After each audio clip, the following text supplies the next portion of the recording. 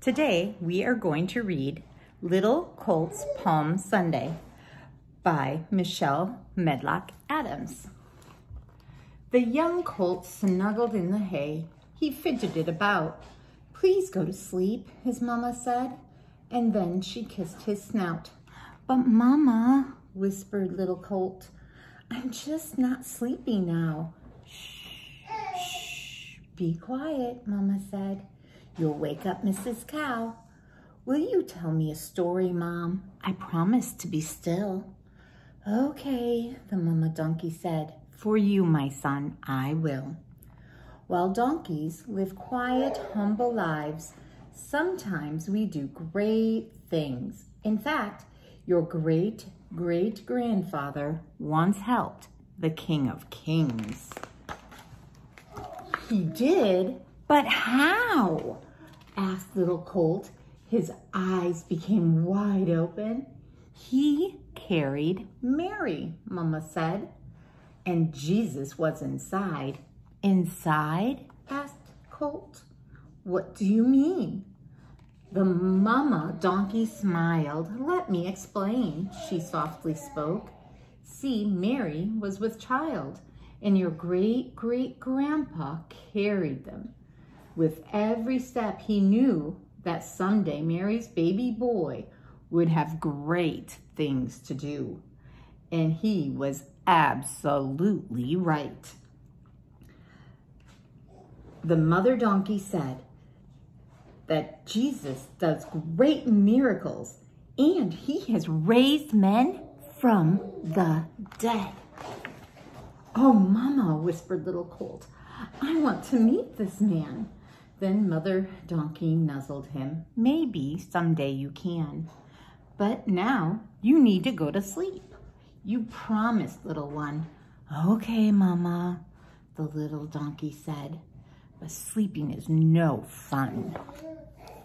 The morning sun awakened them. It gently warmed the hay. Come on, son, Mama Donkey urged. We've got to work today. Then suddenly their owner came and led them into town. He tied them up and softly spoke. I won't be long. Don't frown.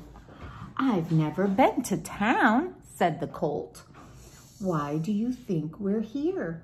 I'm not sure, Mama Donkey said. But soon it would become clear. Just then, two men untied the colt. The colt began to bray. Help, Mama, cried little colt. They're leading me away. But strangely, Mama wasn't scared. Somehow the donkey knew that little colt would be all right. He had a job to do. Excuse me, sirs, the owner said. Don't lead my colt away. The two men stopped and smiled and said, The Lord needs him today. We promise to return your colt, assured the two nice men. Okay, the owner softly said. Do well, my little friend. The little colt walked with the men, unsure of everything. And then he met Jesus the Christ, the King of every king. So this is he, thought little Colt.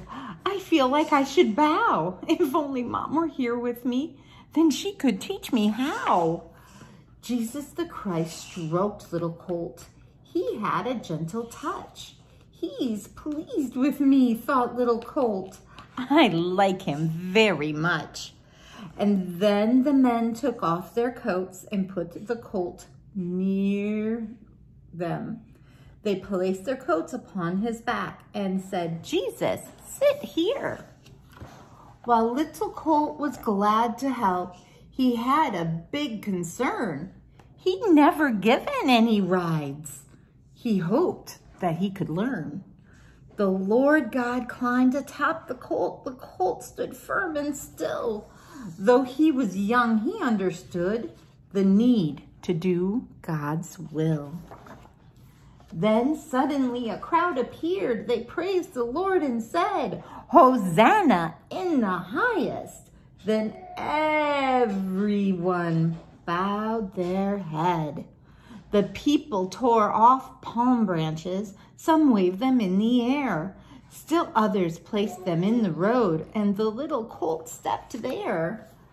The palms felt soft beneath his hooves, much softer than the road. That these branches feel quite cool, thought Colt, and I bear a sacred load. The crowd cheered wildly with great joy. The colt was filled with pride. He knew that he'd been born for this, to give Jesus a ride.